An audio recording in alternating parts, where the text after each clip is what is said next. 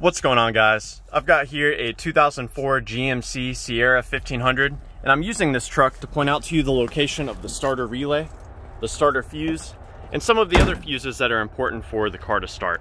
So we're going to begin by checking out under the hood. We remove this cover just by pulling up and setting this aside. Now I'm first going to show you the location of the starter relay. That's going to be this relay right here. And my favorite way to troubleshoot starter relays is I'll have someone trying to start the car and I'll just start tapping on that relay. You can also wiggle the relay.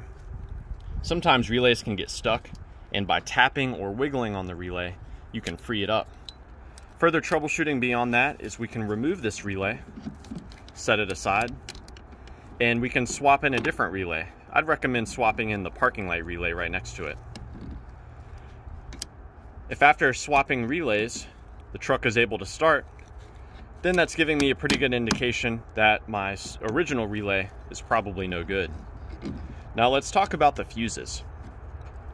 So the main starter fuse is this 40 amp J-case fuse right here.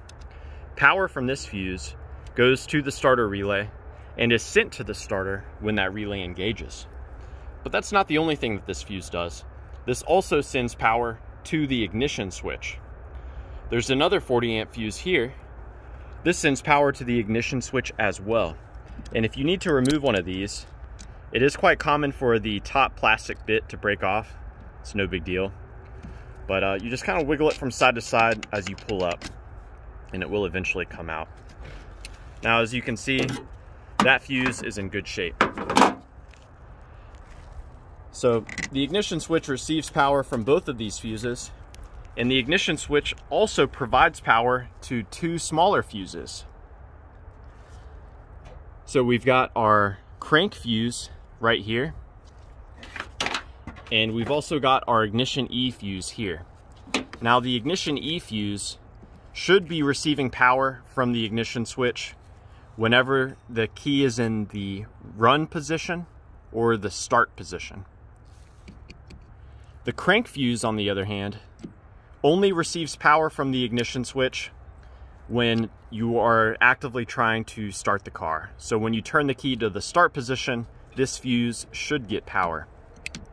Now what's cool about these fuses is they have exposed metal on them and you can use that exposed metal to check to see if your ignition switch is working. So for the ignition E fuse, the exposed metal here should be receiving power whenever the key is in the on position or in the start position. And the crank fuse, this should be getting power when you are attempting to start the car. You can apply your own power here to bypass the ignition switch if you'd like. Now, power from this ignition switch, or from this, uh, yeah, power from this fuse from the ignition switch goes to the computer. The computer runs through a number of checks to make sure that the truck is in park or neutral and uh, that the engine is not already running and if the if the computer decides that it does want the engine to turn over, it will activate this relay. When this relay is activated, all it does is it connects these two pins together. Doing this will send power directly to your starter. You yourself can send power to the starter by taking a wire or a paper clip and connecting those two pins.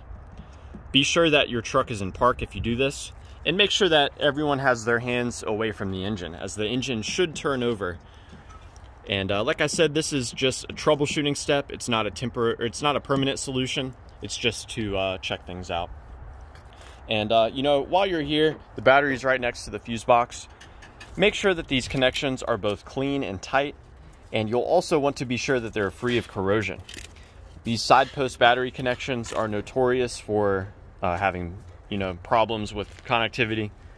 And uh, there's also a junction in here. You can pop this cover open and make sure that there's no corrosion in there as well.